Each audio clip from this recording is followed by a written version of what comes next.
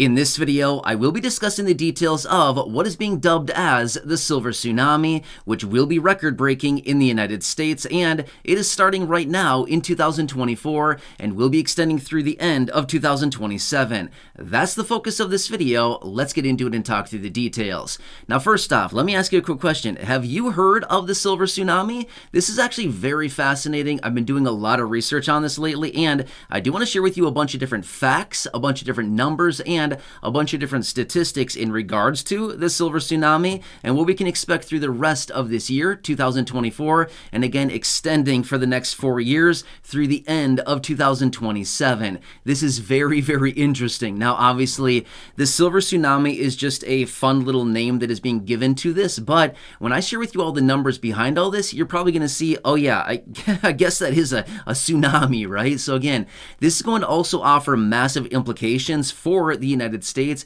the economy, the markets, all kinds of things like this, and Social Security. Many of you here in the community that watch the videos here on the channel, you know that I have a lot of videos and I talk a lot, literally every single day, about Social Security and all the benefits administered by the administration, including but not limited to Social Security retirement, disability, SSDI, survivor, spousal, SSI, VA, RRB. Obviously, I threw a little bit extra ones in there, but my point is all of these fixed income benefits, this is going to have some major um, implications on these programs. All right, so let me share with you a bunch of different numbers here, and then we can talk through the details about this. So starting at the beginning of 2024, now obviously we're a little bit into the year as of right now as I film this video, but this is extending through the rest of the year, and it started at the beginning of the year. Here's what it comes down to. Every single day from now, or basically the beginning of 2024 through the end of 2027, 11,000 people every single day will be turning 65. That is not a typo. 11,000 people a day turning 65 in the United States. This is just the United States. This is not globally, just the United States alone every single day. That's a lot of people. In fact, I was talking to my wife Corey about this the other day about it because I thought, how like how is that even possible you know what i mean it just seems like such a big number like how is that even possible but it is this is the reality of it so Here's what's interesting. Between now or the beginning of 2024 through the end of 2027, an estimated 16.5 million people just right here in the United States will be turning 65. In fact, this year alone, 4.1 million people turning 65 just this year alone. That's a lot, seriously. Now, do you think this is going to have some um, some effects on fixed income benefit programs like Social Security and other things like the stock market and the real estate market and all kinds of things like this? Yes, 100%. The workforce, how about like that? Yes, 100%. Okay. Now, which, by the way, uh, in just a minute here, I'm going to be talking about some things that I want to bring to your attention. If you are going to be turning 65 either this year, next year, the next couple years here, at any point, if you're turning 65, I want to point a couple things out for you, which by the way, if you're enjoying this video so far or any of us here on the channel, make sure to subscribe down below, totally free to do so, and also share this video with your friends on social media so they can see the details about the silver tsunami, and this is something we need to continue watching. We know the wave is coming, just we got to watch it and we got to be prepared for this. Again, it's not a bad thing, but it's going to have some massive effects on the economy and a bunch of other uh, programs out there, so we want to know the details about it. So again, Thanks for joining me. Please subscribe down below. All right, so let me share with you some other details about this. Again, Silver Tsunami, pretty important stuff here, okay? This is a major, major um, kind of effect here in the United States. We've never had anything like this before in the history of this country. We've never had any like major waves of people like this turning a certain age basically over this period of time, okay?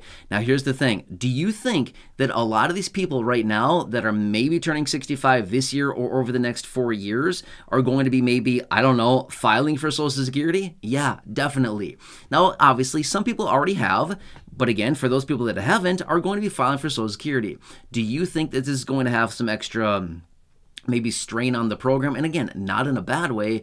All of these people are eligible for the program. Therefore, you know, if you're eligible for the benefits, you know, by all means, grab them, right? Seriously, the thing is, you've been paying in through Social Security payroll taxes your entire life why wouldn't she claim those benefits when it comes time, right? And again, I'm not here to advise anybody what to do. I'm just simply saying this is the detail about it, okay?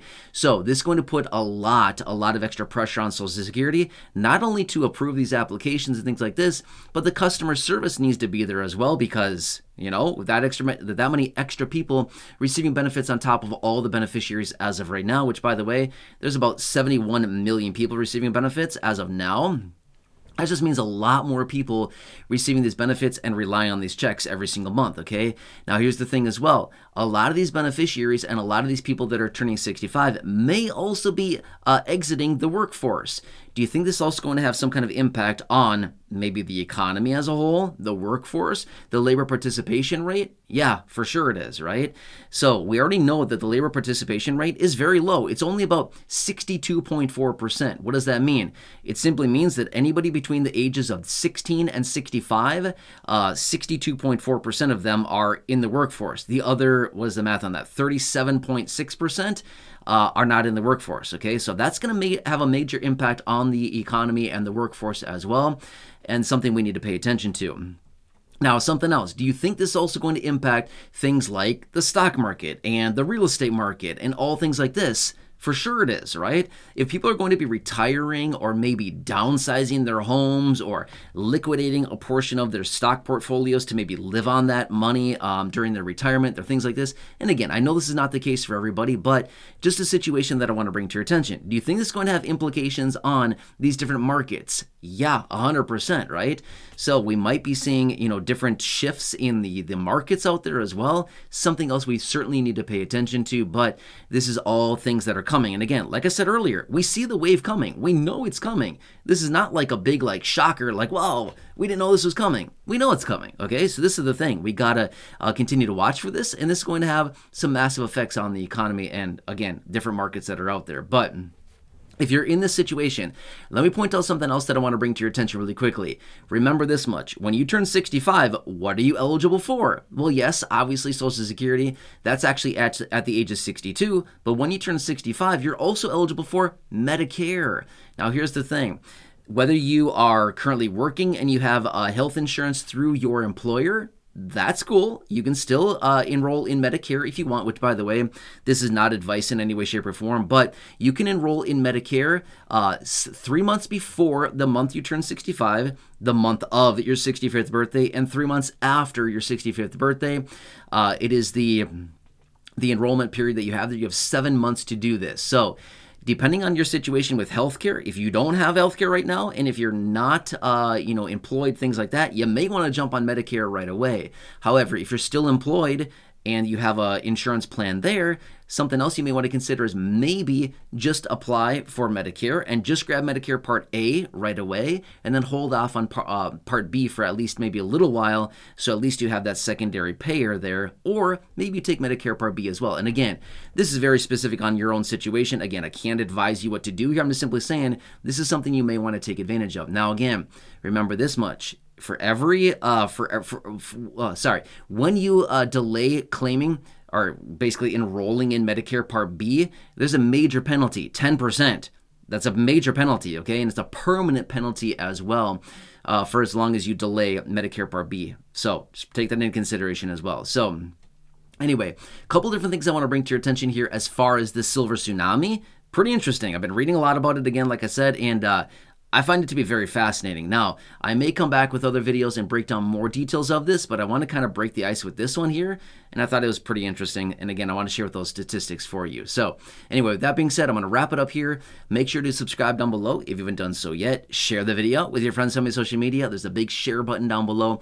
Go back and check out any of the other thousands of videos here on the channel, including those in the video library or those that I have linked down below in the description or at the top of the comment section. Otherwise, leave your comments, questions, feedback down below. Make sure to stay tuned and if you are somebody in this situation, make sure to continue to watch the videos here on the channel as I'm giving you updates literally every day on different aspects of Social Security, what lawmakers are talking about, reform to Social Security, all kinds of things like this. A lot of things are happening. So again, enjoy your day, take care, have a good one, and I'll catch you again later in the next video.